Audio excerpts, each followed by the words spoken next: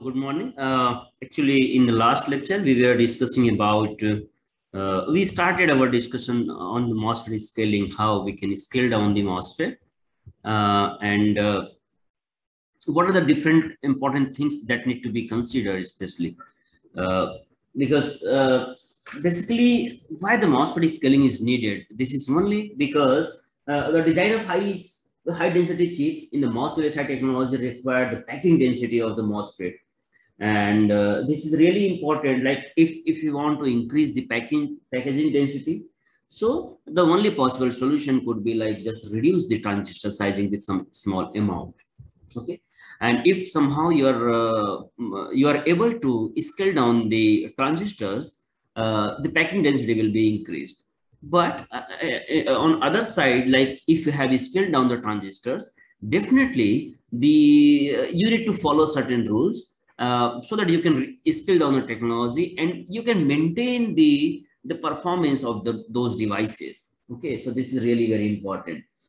Uh, simply uh, if you talk about the scaling like the scaling down like reducing the size of dimension of is that that that we call it scaling right? So this is the meaning of scaling. Uh, if we are scaling down the technology basically there are two main reasons like uh, all the MOSFETs, all the devices, whatever we use to fabricate, that must be properly scalable so that as per the requirement of device density, we can scale down the technology properly. And, uh, and uh, the second important requirement for the scaling is like ideally zero static power dissipation of CMOS logic circuit should be there. So these two are the important factors that need to be considered, especially if I am scaling down the technology. Yes. So uh, I was discussing like we have uh, uh, uh, uh a simple MOSFET like which we can see here. Uh, here we have the L, W, oxide thickness, doping density. so these all are the parameters which we have. But if I want to maintain the same property, even after scaling down this technology, definitely some of the parameters need to be changed. Okay, so some of the like doping density need to be changed, supply voltage need to be changed. Uh, this lateral, uh, whatever the dimension we have, like uh, lateral and vertical dimension, that must be uh, changed so that we can have the, uh, we can maintain the, uh, the like the characteristics of the MOSFET as it is. Okay, so I told you we have two types of the scaling technique. One is the constant voltage scaling, and the second one is constant uh, constant field scaling. Okay so these two are the important scaling technique that uh, which are important uh, or which which are basically considered as a scaling uh, techniques. Okay uh, if we talk about the constant voltage scaling basically what we do in the uh, let us start with the constant field first. The constant field scaling basically what we do we scale down all the parameters like whatever the lateral and vertical dimensions we have, that must be scaled down. Whatever the threshold voltage and the supply voltage we have, that also must be scaled down with the some scaling factor alpha. And whatever the doping density we have, we need to increase the doping density by the alpha. Remember one thing, what if I am reducing the lateral and the vertical dimensions like W and L, in TOX. And also I have, I'm reducing the supply voltage and the threshold voltage of this device. So to maintain the characteristics, to maintain the property of this device, we must change other parameters as well, like doping density. So the doping density is increased by the scaling factor alpha. So by doing this uh, exercise, like uh, uh, reducing the WL, TOX, and VDD and the VTH, and by increasing the ND for like doping density, we can maintain the property of this device as it is. Okay, because we are uh, scaling most of the parameters, most of the important parameters, uh, which is uh, in the devices, in a particular device, uh, we call this kind of scaling technique as a full scaling technique. Okay, so full scaling because we are scaling down all the parameters, whatever we have. And why we are doing so?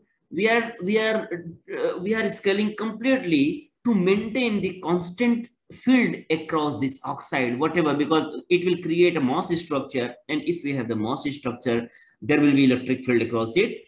And if there is some electric field, and then uh, uh, in that case, that should be fixed, that should be constant. So if I have to make maintain this uh, oxide capacity, oxide field um, as it is, it which was before, in that case, we need to completely or fully scale down this device. Okay.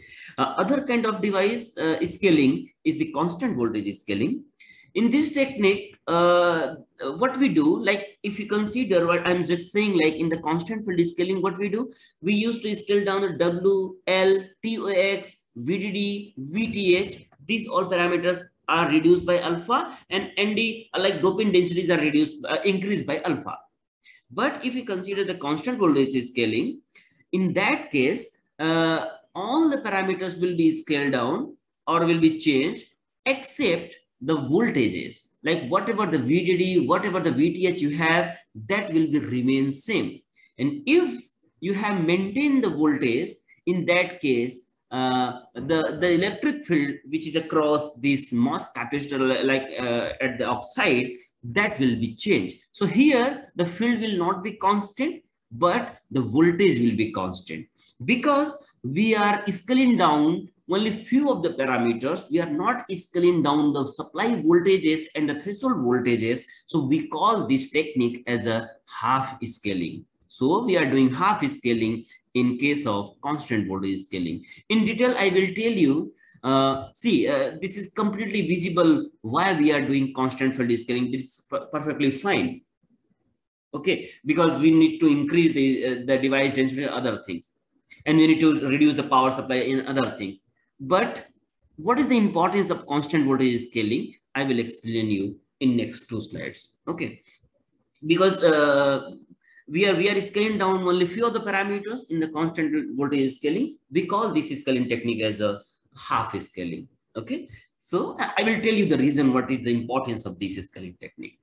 Okay, so yeah, I, was also discussing about this. Like suppose I have something like this. Uh, I have a, a, long channel device having some doping, having some length, W, TOX and other things. But if I have to scale down, I, if I have to, uh, to follow some constant voltage scaling down or con, uh, constant uh, field scaling down, in that case, I need to change these values like I need to change this W, I need to need to change this L, TOX, ND, VTH and VDD. So all these parameters must be changed.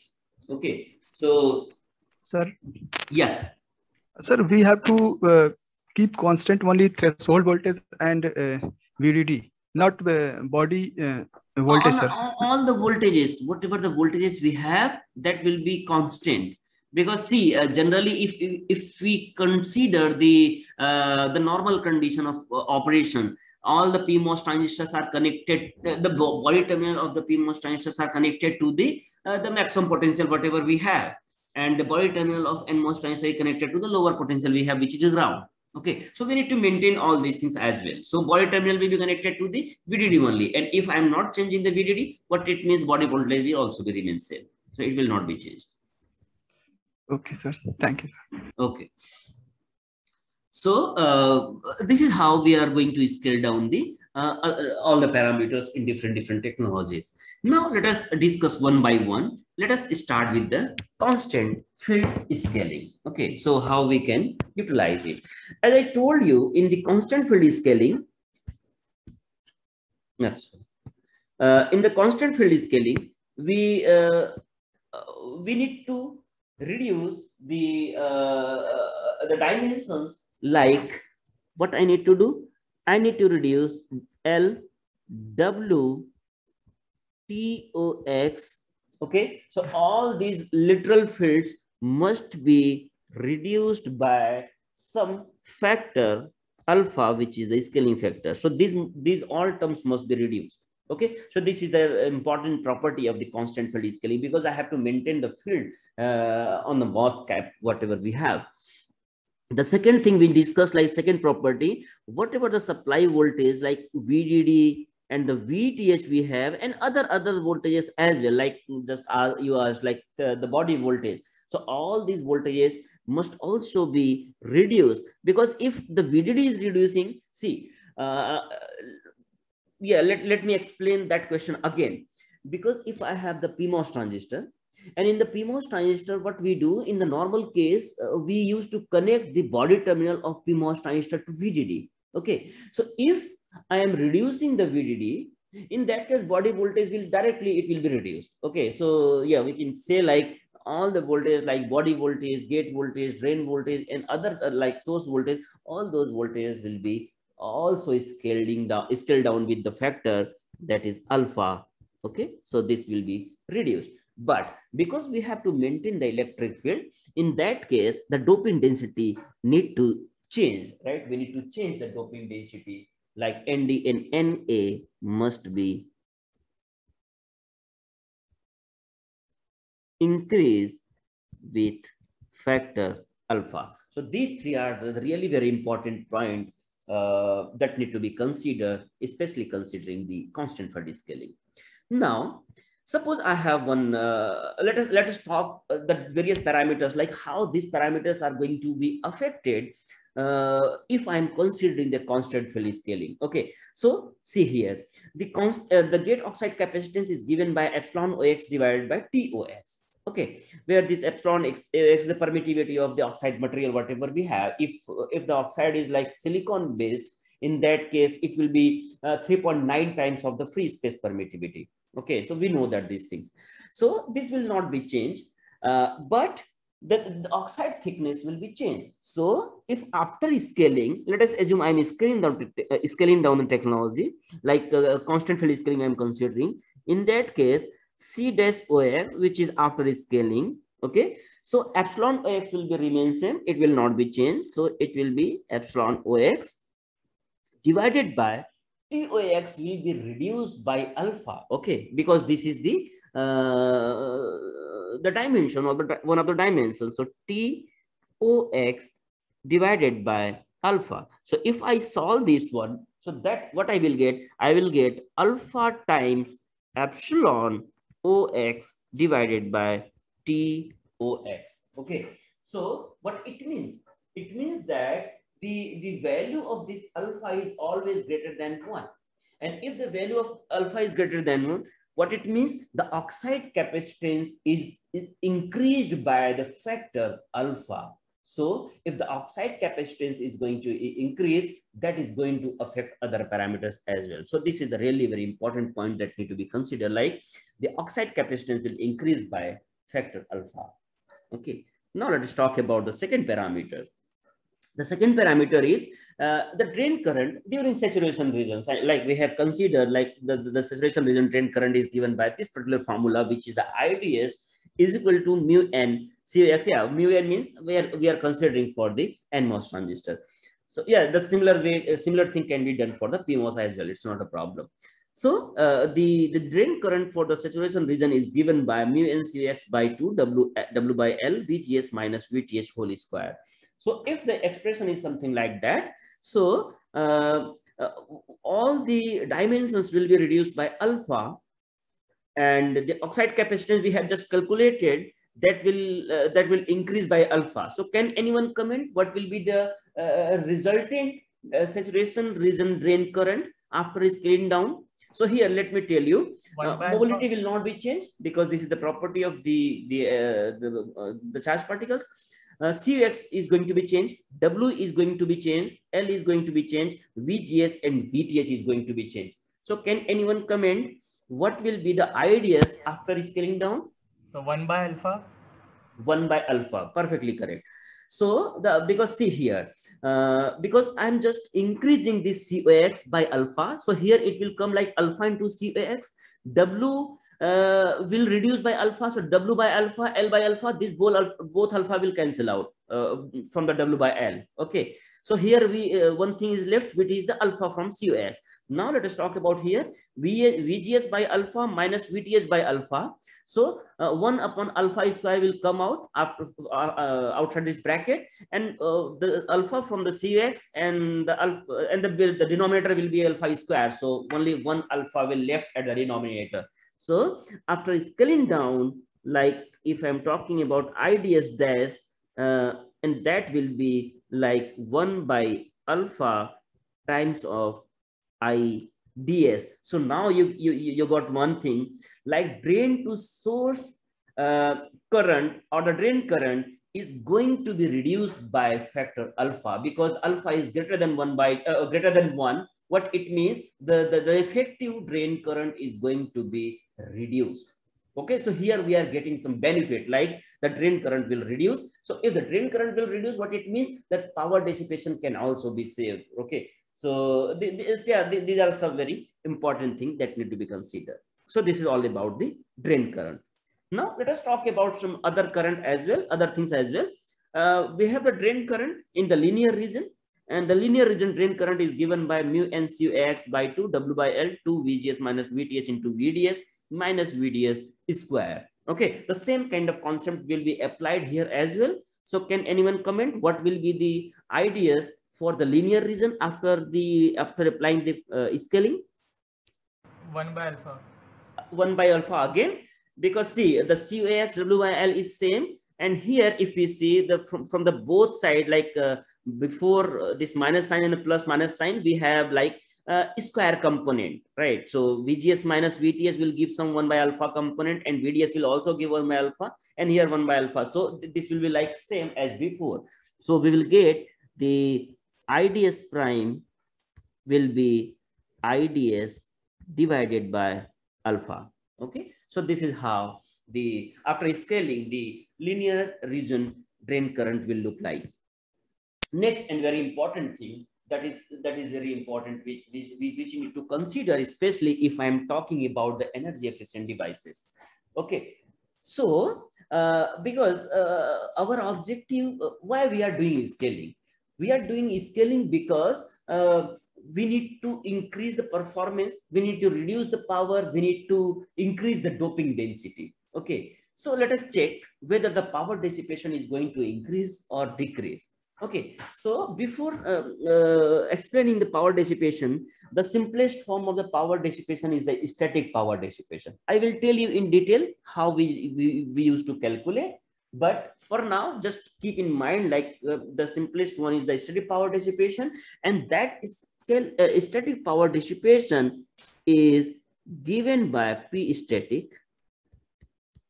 That is given by whatever the IDS you have multiplied with the VDD. So if I'm multiplying VDD with the IDS, that will give you the static power dissipation.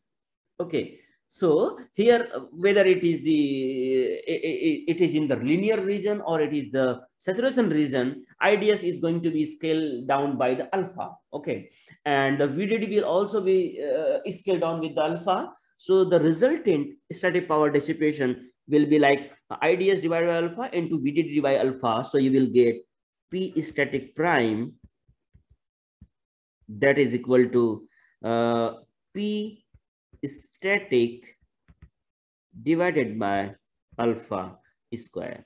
Okay, so this is the factor by which the power dissipation is going to be reduced. Okay, any doubt? The next and very important thing is like power density. Power density is nothing but uh, the power per unit area in a chip that we call it the power density. This is also really very important. Like if I am reducing the uh, the dimension of the chip means per unit area number of transistor will also increase. Okay, so the power density is one of the important factor, one of the important property that need to be considered, especially if I'm talking about the field scaling or the constant field scaling. Okay, so in that case, the power density is given by, let me write PD only, so the power density is nothing but this is the power dissipation per unit area. Okay. Now let us talk about how we calculate the area. So let us first, we have the power. Okay. And area is given by W into L. So from W into L, you can calculate the area. Okay, now if you can if you can recall this uh, the previous one, which is the power dissipation, the power dissipation is uh, reduced by the alpha square, and here W will become W by alpha and L will become L, L by alpha. So in denominator and numerator, the, the, the scaling factor is alpha square. So in result, like if we talk about the uh, uh, like uh, PD prime, PD prime is nothing but it is same as the PD. So the power density is not going to be changed. And this is really very important. What it means, what was the power density before that will be remain same even though we have increased the number of transistors and this is the important feature by which we can maintain the power dissipation in a chip. Otherwise if the power density is increasing uh, uh the power requirement will be more and power requirement is more means uh, the, uh, like uh, huge power dissipation thermal effect will be more and then the failure rate can also be increased. Okay so this is one of the important factors that need to be considered and this is the power density Next and very important factor is one of the factor is the, the gate capacitance. So gate capacitance, like uh, uh, the capacitive effects are also very important that need to be considered. And the gate capacitance uh, is given by, like, let us talk about CG. CG is given by W into L into COX. So, the, so this is the simplest formula for the CG. So if I'm talking about the uh, after scaling, how uh, what will be the CG? Can anyone comment? One by alpha. One by alpha. Perfect. So the CG prime will become CG divided by alpha. So the gate capacitance is going to be reduced by alpha. Now the important thing, let, let me uh, go back to the previous slide. If, if you can recall the previous one, the COX was uh, increasing by alpha means oxide capacitance was increasing with the factor alpha whereas the gate capacitance is reducing by the factor alpha. So this is really uh, very important. And these two capacitive effects are like like they can maintain the performance. Like if uh, the the the cox is increasing what it means the delay can also be increased but at the same time this gate capacitance is reducing so they will they will uh, maintain the performance. So the effectively the delay will not uh, affect that much based on these capacitive effects. Okay so this is an important thing. So i'm giving one minute to think about all these things. If you have any doubt then you can uh, you can continue uh, you can ask. Otherwise we can move ahead with the next um, scaling technique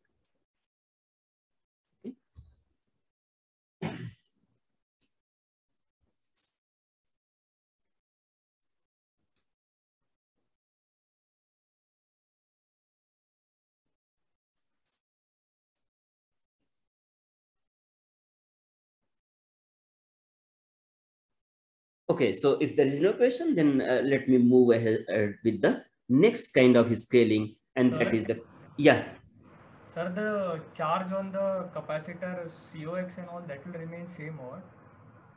Uh, see, uh, because uh, the charge means uh, that depends. See, uh, let me go to the device structure, and then you can answer your question directly. See here if I'm talking about the uh, COX, COX depends on the epsilon OX divided by TOX. Okay, so if the oxide thickness is reducing, so can you tell how, how this, uh, the parallel capacitor works? Simply we have uh, uh, uh, uh two parallel, parallel plates and the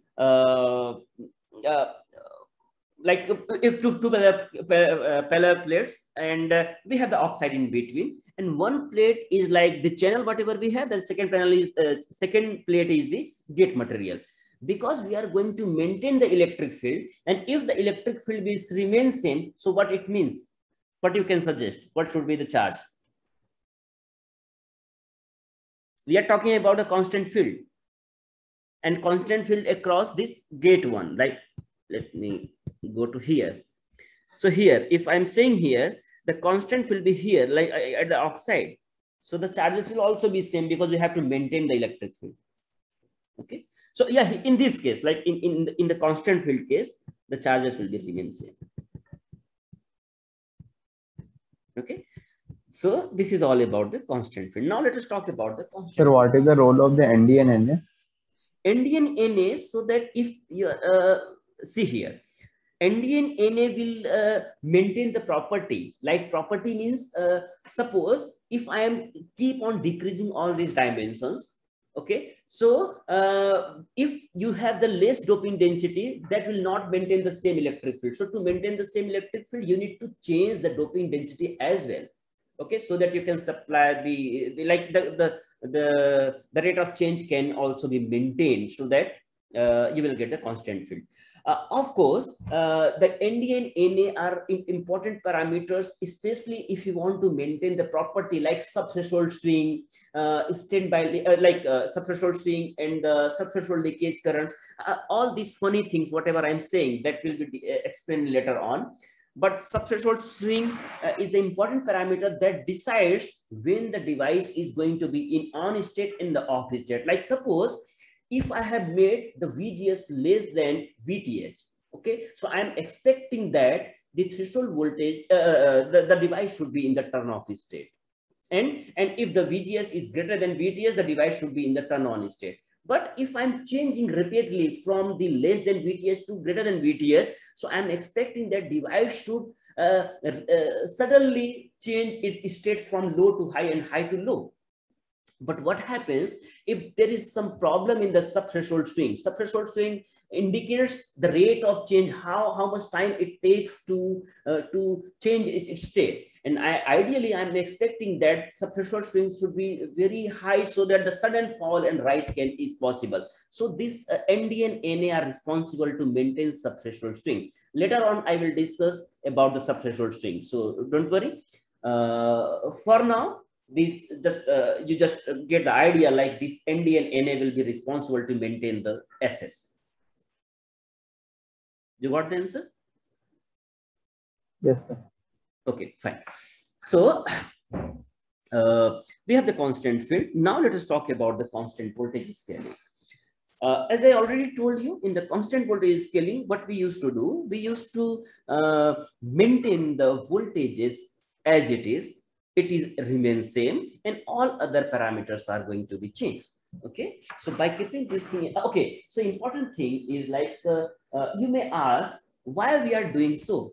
Uh, if someone is asking i have to increase the doping density. So if if uh, sorry if i have to increase the device density in a chip in that case i need to reduce each and everything and the doping density can be increased to maintain the performance and then that will work Okay, and the supply voltage is also one of the important parameter for the character uh, uh, uh, for the device characterization. Like if you go into the previous slide, here in this particular slide, the power dissipation is the important factor for the static power dissipation. Uh, like uh, the, like uh, VDD is the important factor in the power dissipation. So if I will remain same this VDD, the static power dissipation will also be like it will be higher than the after scaling.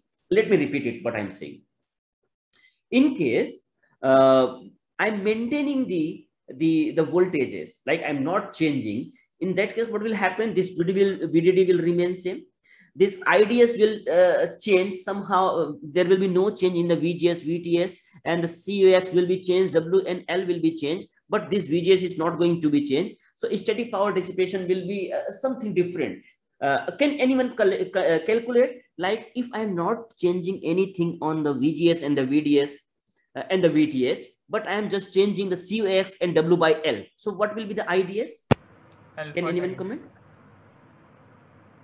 Alpha times.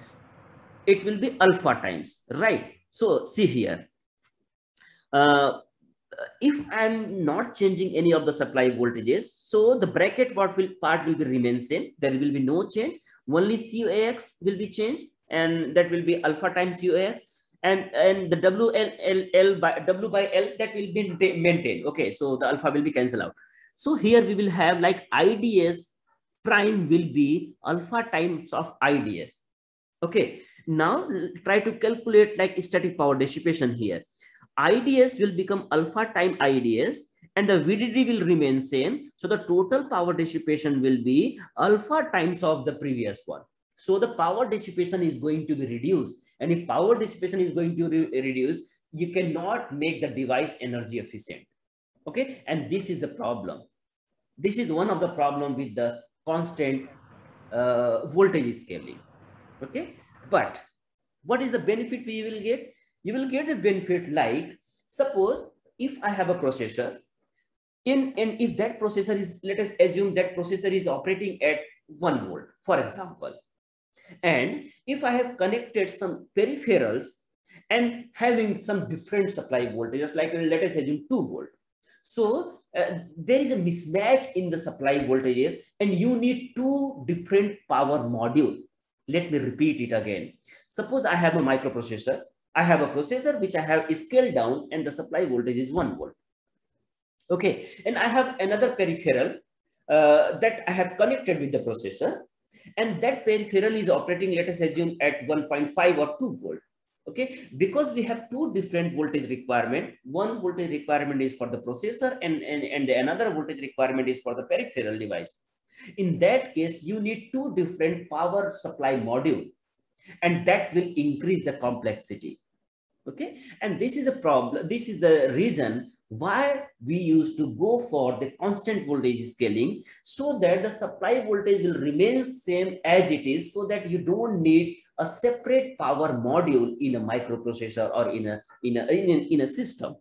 Okay? Single supply module can work that can be utilized uh, in, in in the uh, in the whole processor okay so this is the one of the reason second reason is like if we are utilizing multiple supply voltages. Okay, so after scaling, the, the, the, voltage will, will be changed, the peripheral voltage will be different. So you need to run these two power rails throughout the chip like because see i will i will tell you later on how we used to connect these transistors and uh, in a chip how these power supply rails looks like so this is not just like simple we need only module it's not like that the power rails throughout the chip will also need to be maintained with the two voltages. Okay, and that will increase the area. Okay, because the power uh, uh, rail or the power wire that also requires some area. And because uh, there is no single line, we have to create n number of different lines so that we can connect each module in a processor. And that will uh, lead to the higher area requirement. So to overcome this problem, we can, we can consider the constant voltage scaling. So definitely uh, there is a problem with the constant voltage scaling, but also there are some benefits. So benefit is like you need only one module for the power and the second one is the less area requirement will be there.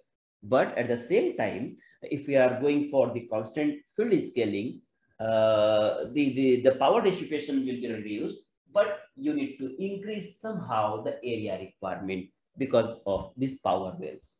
Okay.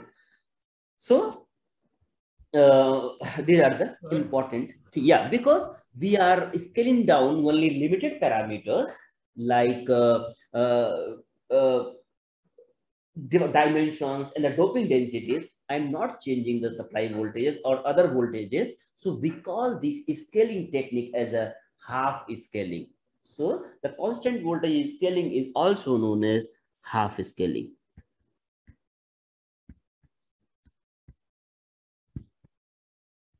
Okay. So the important thing is here, like, oh, sorry.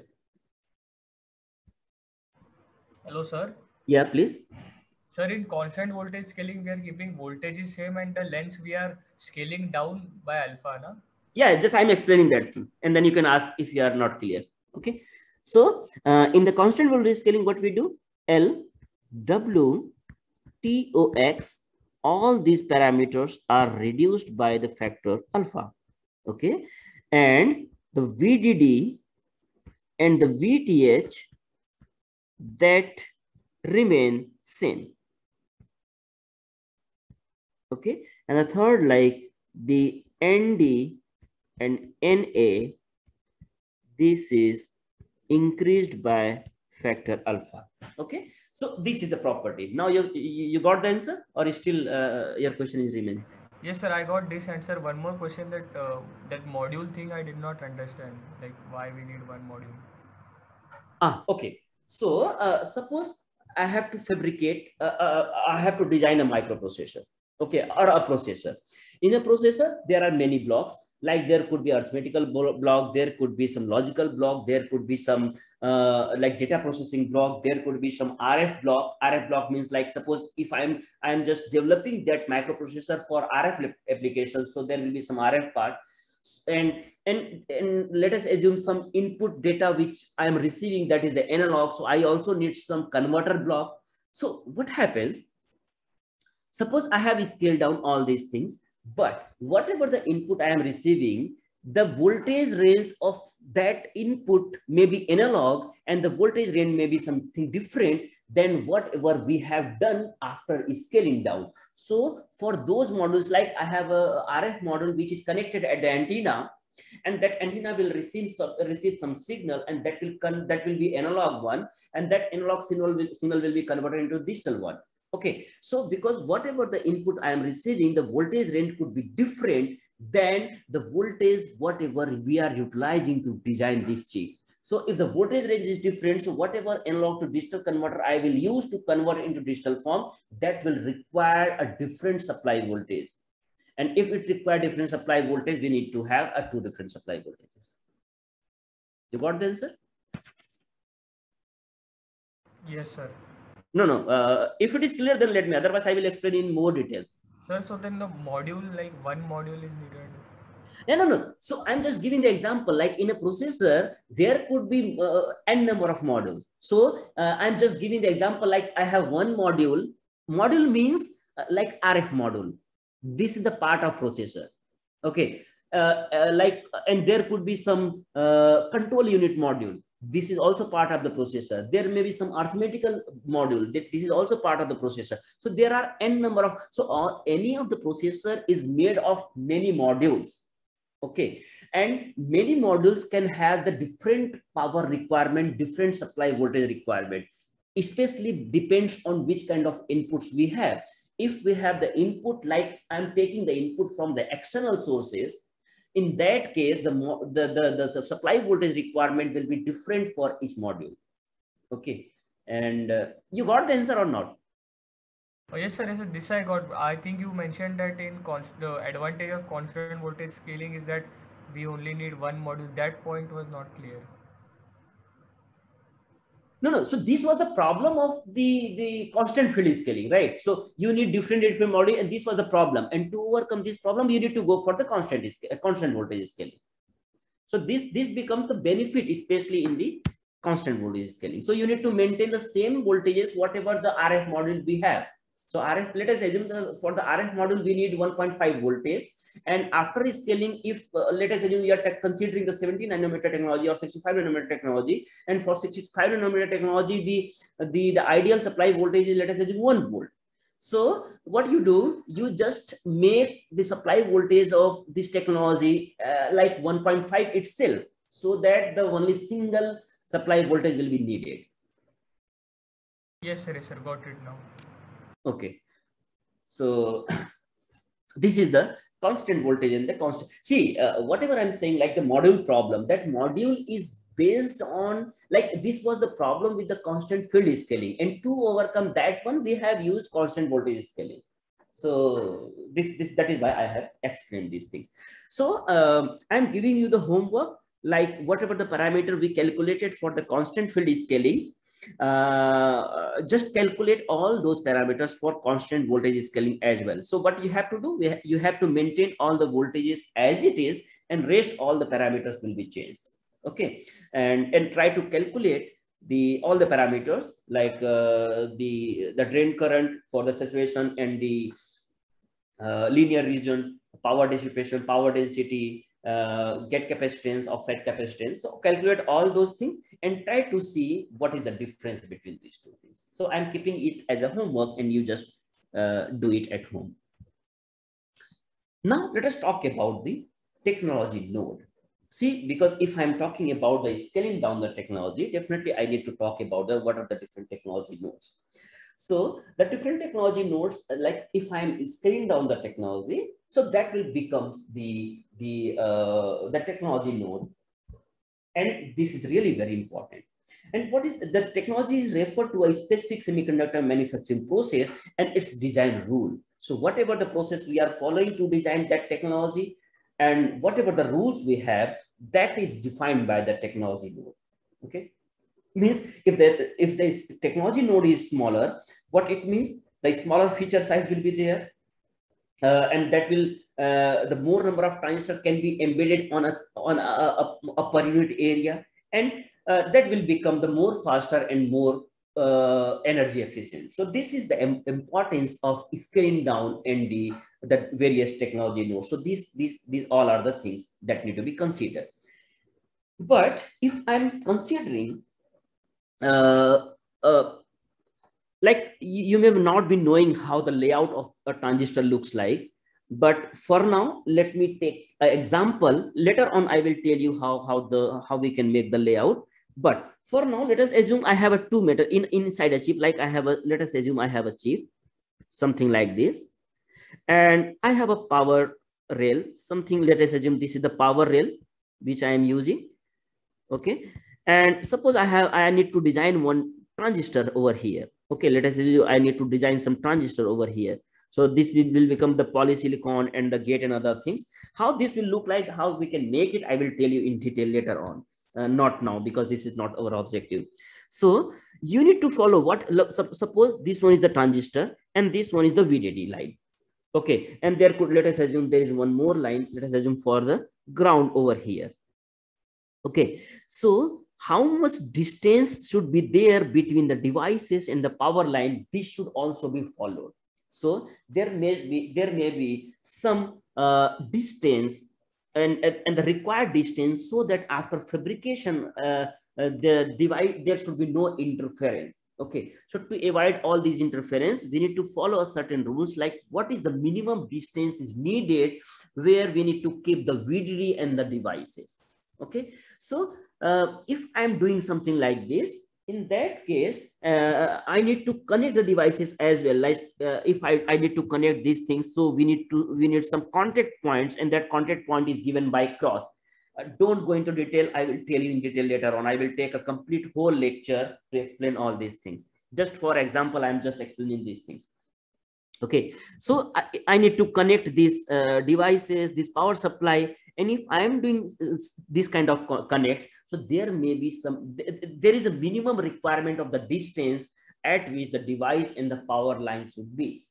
Okay. And this we call like the pitch, the distance between two contact points are the, we call it pitch.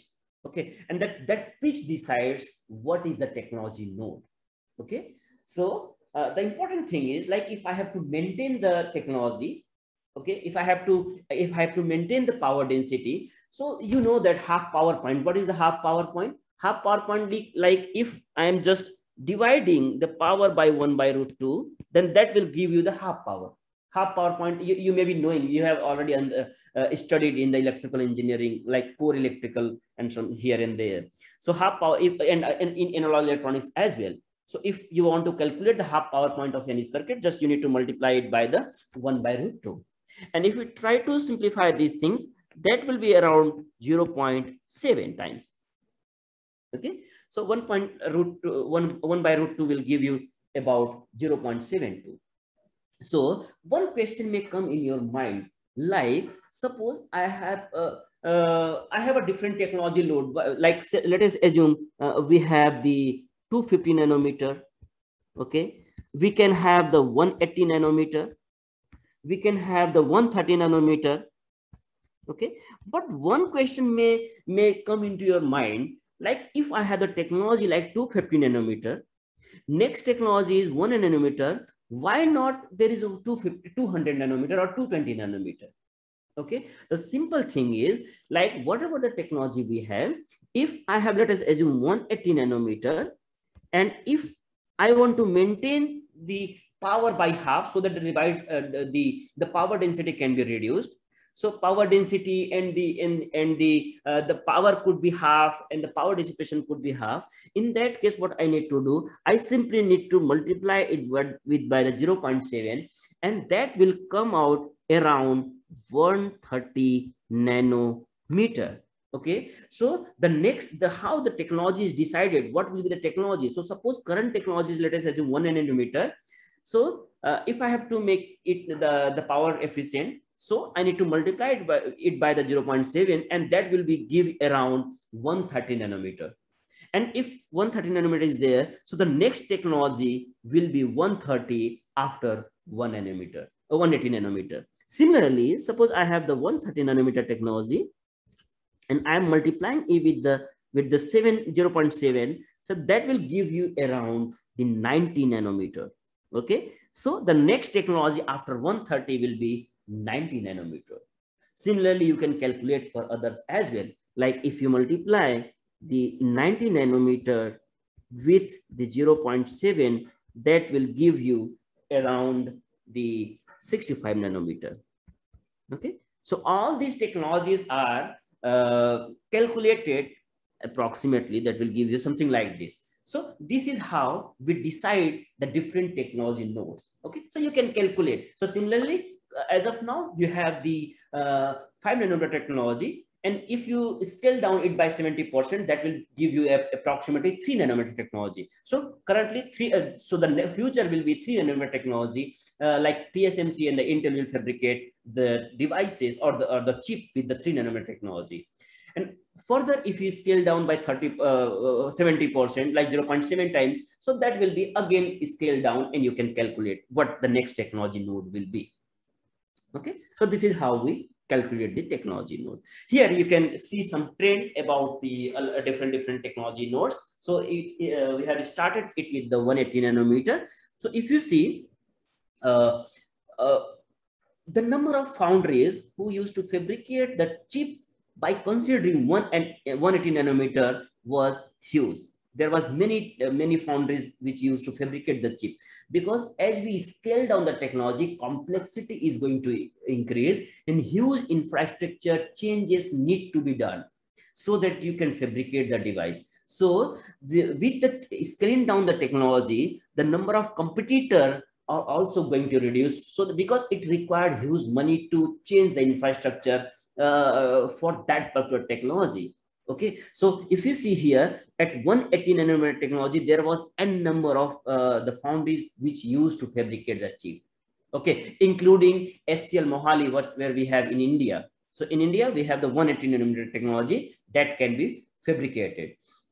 But if you are going, uh, if you are scaling down the technology, you can find only limited number of uh, the foundries which can fabricate the chip. So here at 5 nanometer, if you see, at 5 nanometer, you have only three uh, companies in the competition who, who, can, who can fabricate like uh, Samsung, TSMC, and the Intel. Might be after the further scaling, like 3 nanometer and so on, might be the Samsung cannot uh, compete, might be Intel and TSMC can lead on this. So this is the important thing uh, that need to be considered, like the competition decreases if the technology node reduces. So this is one of the reason why people used to uh, do more research on the VLSI so that they can go for the next technology and the competition can be over and they will, they will lead the market.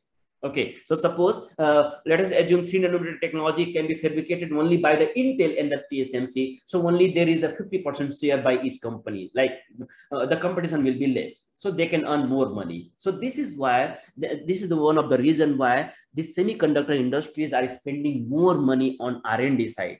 Okay, so uh, and, and because of that, they will, they will get benefited out of it. So uh, in India, we have the 180 nanometer technology with the SCL Mohali, and we can fabricate our chip with this technology. Okay, so this is all about the leading trend.